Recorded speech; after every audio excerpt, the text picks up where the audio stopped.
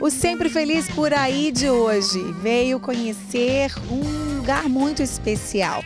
A Casa Luzeiro, um dos mais de 10 trabalhos que a Jocum, Jovens com uma Missão, exerce aqui em Belo Horizonte.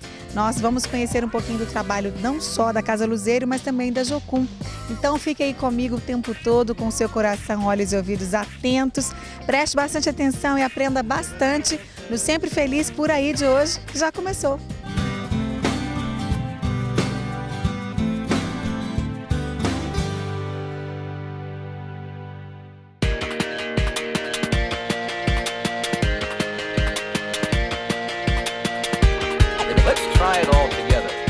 Uma das atividades né, aqui da Jocum com as crianças é o louvor. É a hora que elas louvam a Deus, aprendem as músicas, coreografias. Duas monitoras agora, que são a Milena e a Joanne, que estão dançando com elas. Falar com as crianças, então. Eu vou falar agora com o Melquisedeque. Tudo bem, Melquisedeque? Tudo. Sai daí, João Vitor. Você gosta de vir pra cá? Gosto. Por quê? Aqui é muito bom. O que, que você aprende aqui? Aqui eu, eu aprendo leitura e a, na, a nadar também.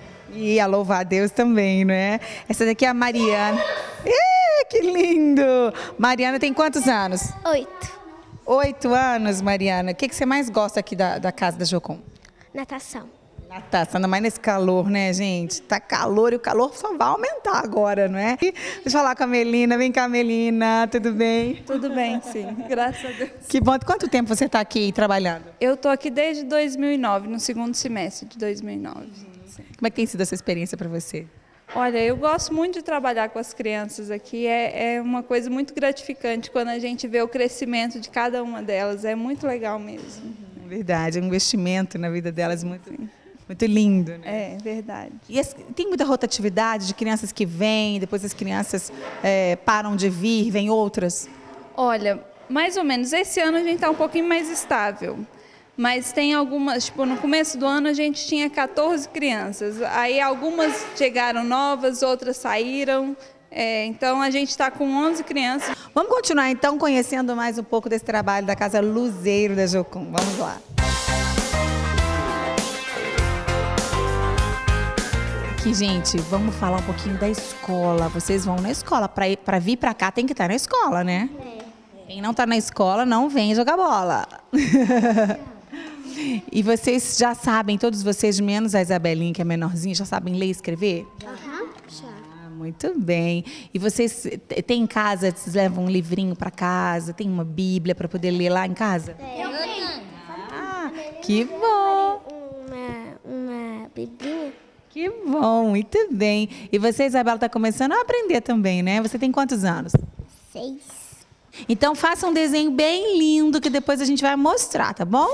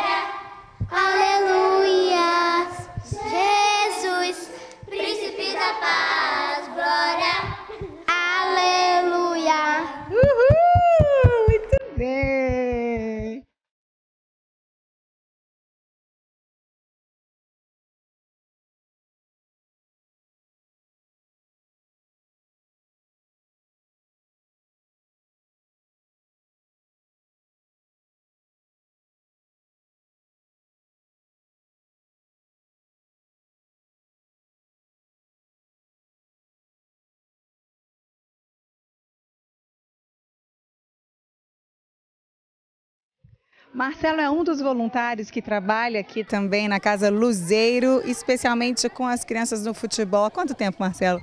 Eu tô com essa escolinha desde 2008. E como é que tem sido para você? Ah, um privilégio muito grande trabalhar com esses meninos com futebol. E o que, que você percebe neles, o que, que acrescenta na vida deles esse trabalho? Acrescenta uma oportunidade, acrescenta a prática de um esporte, né, a diversão, disciplina e também a, a oportunidade de sonhar em algo maior. É verdade. Você é esposo da Melina, né? Que a gente conversou também, mostrando o trabalho com as crianças. E é maravilhoso trabalhar o casal junto, né? Para Jesus, assim, de uma forma tão espontânea. Acho que não tem nada melhor de ter sua esposa ao seu lado, no seu trabalho. Você vai lá, olha, entende? Quando os dois estão trabalhando com, com no mesmo caminho, né? Isso é muito bom. Isso. Vocês são voluntários aqui, não é? Como que vocês sobrevivem? É, nós somos voluntários e nós sobrevivemos com ajudas, né? De amigos, parentes que nos sustentam mesmo. A base de oferta, oferta Deus mesmo. Amém, que bom. Parabéns pelo seu trabalho.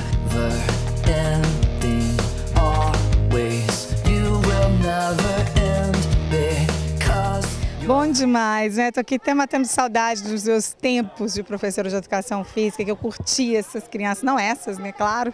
Não tinha nem nascido quando eu estava parando de dar aula. Estou aqui com o Natan e o Lion, que tem 12 anos, estavam jogando de goleiro. Vocês sempre jogam de goleiro? Sim. Você gosta desse trabalho aqui? Você vem sempre, toda semana? É, duas vezes por semana. Duas vezes por semana você vem, você faz só futebol ou faz outras atividades também? Futebol e natação, e às vezes outros esportes. E o que, que você tem aprendido, vocês têm aprendido aqui, além do esporte em si, que vocês vão levar para a vida de vocês, assim, para sempre? É, como respeitar as pessoas, é, como o esporte tem um prazer não de corrupção, esses negócios de ladruagem. Ah, e você, Natan? Eu acho que o esporte é muito bom para a gente, né? Para se divertir também para ter, é, ter chance, né? E também o, o, esporte, ele, ele, ele, pode ser, ele pode ser feito de várias maneiras, como corrida, tênis, vários tipos de... de é. Você tem um sonho de continuar, de ter uma carreira de futebol profissional? Sim, eu tenho. Ah, então tem que trabalhar muito, né? Tem que treinar muito, bastante. Você também tem, lá? Claro. Muito bom. Muito obrigada, viu? Que Deus continue abençoando vocês, continuem jogando bastante. Quem sabe um dia a gente vai ver vocês aí jogando, defendendo a seleção brasileira, não é? Bate aqui. Obrigada.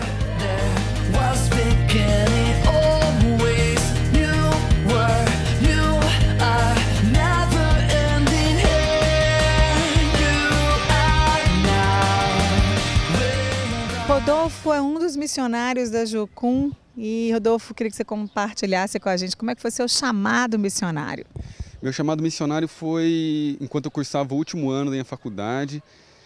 Qual faculdade? Eu fiz design gráfico, desenho industrial e no último ano aconteceu um monte de turbulência na minha vida, eu não estava próximo de Jesus e aí nesse meio tempo ele eu me converti de novo praticamente, ele me chamou para vir. Eu quero você em tempo integral, eu quero que você se dedique a sua vida a mim. Aí a partir disso eu intensifiquei minha, minha vida com Jesus, fui aprender mais.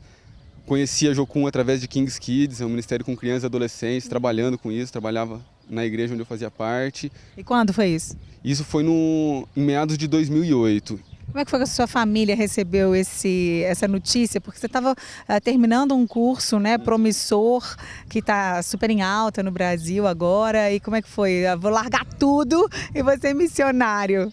Isso, para o meu pai foi, foi muito difícil, ele não, não gostava da ideia, não aprovava muito ele achava que eu deveria trabalhar, que eu deveria ganhar meu dinheiro e nas horas vagas e quando eu tivesse um tempo eu, eu servia a Deus. Mas eu falei, não, não é para isso que Deus está me chamando. Ele demorou um pouquinho para aceitar, mas, mas aceitou. Depois ele viu que realmente não era brincadeira, não era empolgação, né? era realmente de verdade. Enquanto